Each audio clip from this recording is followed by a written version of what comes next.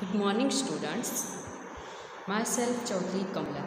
In your maths subject, standard 7, we already started our chapter number 1, exercise 1.3, up to question number 5. We finished.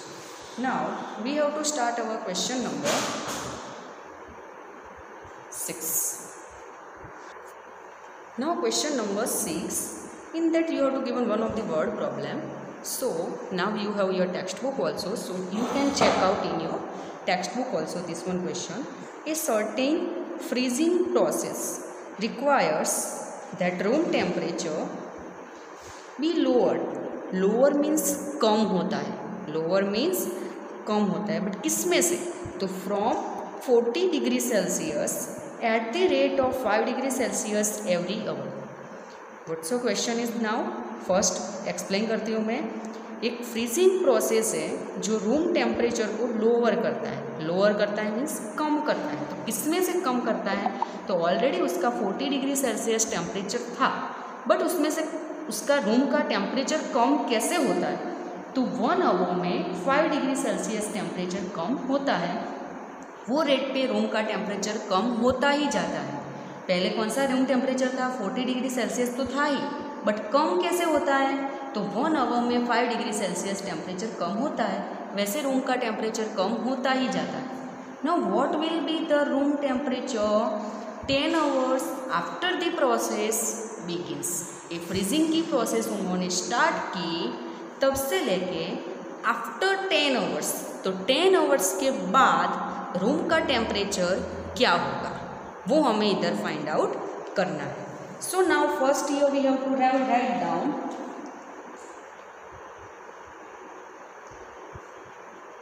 temperature of room after 10 hours is equal to तो क्या मिलेगा room का temperature 10 hours के बाद? तो पहले starting में कितना था? 40 डिग्री सेल्सियस उसमें से हमें क्या करना है? माइनस करना है। क्या माइनस करना है? तो टेन आवर्स के लिए वो रूम का टेम्परेचर 5 5 डिग्री सेल्सियस कम होता ही जाता है। तो हम क्या करेंगे कि अगर वन आवर में फाइव डिग्री सेल्सियस तो ऐसे कितने कितने आवर्स हैं? तो टेन आवर्स तो टेन आवर्स में कितना होगा? तो वो आप क्रॉस मल्टीप्लीकेशन करके भी पहले फाइंड आउट कर सकते हो। तो क्या मिलेगा कि अगर वन आवर में फाइव डिग्री सेल्सियस टेम्परेचर कम होता है तो टेन आवर में कितना होगा? तो टेन फाइव ज़ा फिफ्टी डिग्री सेल्सियस कम हो जाएगा टेम्परेचर रूम का। Otherwise you can say five two ज़ा सॉरी फाइव टेन ज़ा फिफ्टी डिग्री सेल्सियस रूम का टेम्परेचर कम होगा। बट कितना था पहले? फोर्टी डिग्री सेल्सियस तो था ही। तो उसमें से कितना कम होगा? तो 40 degree Celsius minus fifty degree Celsius तो 40 minus fifty plus minus minus तो 50 माइनस फोर्टी क्या मिलेगा? 10 दोनों में से which one is greater 50 is greater before that minus so minus 10 degree Celsius 10 hours के बाद रूम का टेम्परेचर क्या होगा? माइनस 10 डिग्री सेल्सियस ना after that question number seven here if you want to write down, then you can write temperature of room after 10 hours is minus 10 degree celsius now question number 7 पहले explain कर देती हूँ in a class test containing ten questions class का एक test था, जिसमें ten questions थे। Five marks are awarded for every correct answer एक करेक्ट आंसर के कितने मार्क्स मिलते थे? Five marks and minus two marks are awarded for every incorrect answer and zero for questions not attempted question क्या है? फिर से एक बार एक्सप्लेन करती हूँ। टोटल टेन मार्क्स का टेस्ट है। इसमें से अगर आप कुछ राइट लिखते हो करेक्ट लिखते हो तो एक क्वेश्चन के फाइव मार्क्स ऐसे आपको मार्क्स मिलेंगे। बट अगर वो आंसर आपने रॉन्ग लिखा है इनकरेक्ट लिखा है तो वहाँ पे क्या हो जाएगा? कि माइनस टू मार्क्स वो क्वेश्चन के कट हो जाएँगे। जो आपको मार्क्स मिले हैं, उसमें से माइनस टू हो जाएँगे। नाउ एंड अगर कोई क्वेश्चन आपने अटैम्प्ट ही नहीं किया है तो वहाँ पे आपके ज़ीरो मार्क लग जाएँगे। नाउ अभी वन बाय वन हमें स्टूडेंट के लिए फाइंड आउट करना है। एक मोहन का दिया है, रेशमा का दिया और हिना का दिया है। तो अभी तीनों के लिए फाइंड आउट करना है। मैं आपको एक के लिए फाइंड आउट करके दिखा देती हूँ। दोनों के लिए आपको अपने आप प्रैक्टिस में, अपनी होमवर्क में आपको करना है। Now question number seven it's first number Mohan gets four correct and six incorrect answers then what is his score तो हम क्या लिखेंगे? Score of Mohan is equal to this one is your question number seven it's a number. Score of Mohan. तो क्या मिलेगा मोहन का score तो उसने करेक्ट आंसर कितने लिखे हैं? तो Mohan gets four correct answer but एक करेक्ट आंसर के कितने मार्क्स हैं? फाइव मार्क्स ऐसा होगा ना कि one correct answer is equal to five mark तो फोर करेक्ट आंसर के लिए कितना मिलेगा? तो क्या होगा? फोर फाइव ज़ा फिफ्टी बट प्लस करना है, किसका प्लस करना है? कि उसने इनकरेक्ट कितने लिखे तो इनकरेक्ट उसने कितने लिखे थे? So Mohan gets four correct and six incorrect तो सिक्स मल्टीप्लाई बाय इनकरेक्ट के मार्क्स कितने हैं? माइनस टू इनकरेक्ट के आपको मार्क्स कितने दिए क्वेश्चन में? माइनस टू तो आप कैसे लिखोगे कि वन क्वेश्चन के माइनस टू तो सिक्स क्वेश्चन के कितने? ऐसा आप करके फाइंड आउट कर सकते हो ना क्रॉस मल्टीप्लीकेशन वाली method so now four five ज़ा ट्वेंटी प्लस का प्लस सिक्स टू ज़ा twelve but one time minus तो ये कौन सा नंबर आएगा? माइनस नंबर अगर वन टाइम माइनस आता है तो वहाँ पे आपको माइनस लिखना है। नाउ ट्वेंटी प्लस माइनस दोनों साइन है तो हम रिमूव करके एक ही करते हैं because plus minus we know that minus so twenty minus twelve so कितने मार्क्स उसको मिलेंगे? Eight marks so in last you can write eight here. Mohan gets 8 marks in class test. Understood everyone? Using this same method you have to solve its B and C in your homework. Reshma and Heena के लिए आपको homework में practice में करना है answer check करो और फिर आपको आंसर सॉरी क्वेश्चन एग्ज़ाम्पल आपको कॉपी डाउन करना है कंटिन्यू इधर भी आप पहले रफ वर्क में वीडियो इधर पोज करके आप पहले क्या करो रफ वर्क में बी एंड सी सॉल्व करो। सेम यही मेथड है। सेम जो मैंने मोहन के लिए करवाई, वैसे ही रेशमा एंड हीना के लिए है। इसके आगे भी मैंने जहाँ भी आपको बोला है कि प्रैक्टिस के लिए करना है तो वो आप इधर भी कंटिन्यू कर सकते हो। अदरवाइज़ आप बाद में क्या कर सकते हो, पूरा वीडियो देख लो। वीडियो में मैंने जितना करवाया है, उतना फिनिश करो। और इसके बाद आपको क्या करना है कि लास्ट में आपको होमवर्क करके कंटिन्यू करना है। कोई भी मेथड आप होमवर्क आप जैसे भी करोगे, कहीं पे भी करोगे, कोई प्रॉब्लम नहीं है मैथ्स में। बट वो सेम नोटबुक में होना चाहिए homework and class work means जो मैं इधर में वीडियो में करवा रही हूँ ऑनलाइन वीडियो में ऑनलाइन एग्ज़ाम्पल जो आपको मैं इधर करवा रही हूँ, वो एग्ज़ाम्पल और आपके होमवर्क के एग्ज़ाम्पल सेम नोटबुक में होने चाहिए। अंडरस्टूड एवरीवन अगर आंसर नहीं मिलते हैं तो एक दूसरे की आप हेल्प ले सकते हो कोई अगर आपके आजू बाजू में है तो। अंडरस्टूड एवरीवन ना question number eight a cement bags sorry cement company on से profit of rupees eight per bag of white cement क्या दिया है आपको? ए, एक सीमेंट कंपनी है उसको प्रॉफिट कितना मिलता है? एट रुपीज़ का। बट वाइट सीमेंट की एक बैग अगर वो सॉल्ट मीन्स बेचते हैं and a loss of rupees five per bag of grey cement sold अगर वो ग्रे सीमेंट की बैग अगर सॉल्व करते, बेचते हो तो उनको फाइव रुपीज़ का लॉस होता है। प्रॉफिट कहाँ पे मिलता है? वाइट सीमेंट की बैग में एट रुपीज़ का और लॉस कहाँ पे मिलता है? ग्रे सीमेंट की बैग पे फाइव रुपीज़ का। फाइंड क्या करना है? Now a number the company sells three thousand bags of white cements and five thousand bags of grey cements in a month then what is its profit और loss तो पहले हम profit find out करते हैं कि company को total profit कितना हुआ होगा। तो प्रॉफिट कितना हुआ होगा कि अगर कंपनी ने वाइट सीमेंट की कितनी बैग उन्होंने सेल किए थ्री थाउज़ेंड प्रॉफिट क्यों बोला मैंने? क्योंकि वाइट सीमेंट की बैग अगर वो बेचते हैं वाइट सीमेंट अगर वो बेचते हैं तो वहाँ पे उनको क्या मिलता है? प्रॉफिट तभी मैंने इधर लिखा कि वाइट सीमेंट के लिए प्रॉफिट तो थ्री थाउज़ेंड मल्टीप्लाई बाई कितना प्रॉफिट होता है? तो एक बैग पे उनको मिलता है रुपीज़ एट का प्रॉफिट मिलता है। तो इधर कितने रुपीज़ उनको प्रॉफिट मिला होगा? कि थ्री थाउज़ेंड बैग अगर उन्होंने सेल की है तो वहाँ पे उनको कितना प्रॉफिट मिला? तो रुपीज़ एट थ्री ज़ा ट्वेंटी फोर थाउज़ेंड का प्रॉफिट मिला। बट सामने उनको लॉस भी मिला। किसके लिए लॉस मिला? ग्रे सीमेंट उन्होंने सेल किया है साथ में। कितना किया है तो लॉस करके हम लिखेंगे इधर लॉस इज़ इक्वल टू कितनी बैग उन्होंने सेल किए five thousand multiply by loss कितना होगा है तो पर बैग पे एक बैग का रुपीज़ फाइव का लॉस होता है।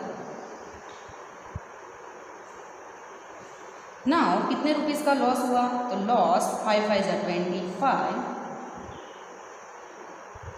अभी इधर देखो लॉस लॉस इज़ ग्रेटर और profit is greater now we know that twenty five thousand is greater so company को क्या हुआ? अगर कंपनी ने थ्री थाउज़ेंड वाइट सीमेंट की बैग सेल किए और फाइव थाउज़ेंड ग्रे सीमेंट की बैग सेल किए तो वहाँ पे कंपनी को क्या मिलेगा? ऑलवेज लॉस मिलेगा. सो so, इधर हम क्या मिले लिखेंगे अभी। Loss is equal to profit minus loss is equal to sorry ये आपको लिखना ही नहीं है directly you can see here कि loss is equal to twenty five thousand minus twenty four thousand is equal to rupees one thousand company को total कितना loss हुआ? तो आप क्या लिखोगे? If the company sells 3000 bags of white cement and 5000 bags of grey cement in a month. Then company got loss of rupees 1000 understood everyone here? After that it's b number.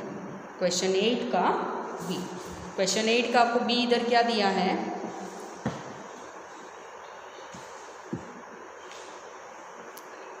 देखो, आपको ऊपर ही दिया है what is the number of white cement bags it must sell to have neither profit nor loss if the number of grey bag sold is six thousand four hundred same इधर question आपको दिया है कि company को loss भी नहीं होना चाहिए और प्रॉफिट भी नहीं होना चाहिए। बट आपको ओनली क्या दिया है कि कितनी वाइट सीमेंट की बैग हमें बेचनी पड़ेगी? अगर आपको ग्रे सीमेंट की बैग आप 6400 सेल करते हो, बेचते हो तो आप इधर क्या लिखोगे? कि इधर हमें होना क्या चाहिए? Profit neither profit nor loss means profit is equal to loss profit और लॉस दोनों क्या होने चाहिए? सेम होने चाहिए। तो प्रॉफिट कहाँ पे हमें मिलता है? तो वाइट सीमेंट की बैग पे हमें प्रॉफिट मिलता है। तो वाइट सीमेंट की बैग के लिए अगर नंबर ऑफ़ वाइट सीमेंट की बैग आपको दी है, नहीं दी है so we have to assume यर कि assume number of white cement bags sold X हम क्या इधर एज्यूम करते हैं? क्योंकि जो हमें नहीं दिया है, जो हमें फाइंड आउट करना है, वो हम इधर लिख देंगे। प्रॉफिट हमें कौन सी बैग पे मिलते हैं? वाइट सीमेंट के बैग पे मिलता है। तो वाइट सीमेंट के बैग के लिए अगर हमने एज्यूम कर लिया कि नंबर ऑफ़ बैग्स अगर हम एक्स सेल करते हैं बेचते हैं तो वहाँ पे हमें प्रॉफिट कितना मिलता था? एक बैग पे रुपीज़ एट का।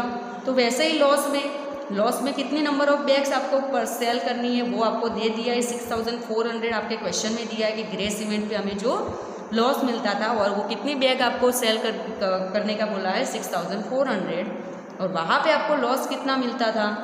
फाइव रुपीज़ का। अंडरस्टूड यू एवरी वन अभी इधर हम क्या करेंगे? एक्स को सब्जेक्ट बनाओ। Six thousand four hundred multiply by five इधर फाइव एट मल्टीप्लीकेशन में तो इस ऑपोजिट साइड आएगा तो वो डिवीज़न में आएगा। नाउ डायरेक्टली एट से कट करो. Eight eight sixty four but after that two zero so eight eight cut so X is equal to कितना मिला आपको? एट फाइव ज़ा forty and after that two zero इतनी number of bags of white cement so how many bags you have to sell year so company has to solve four thousand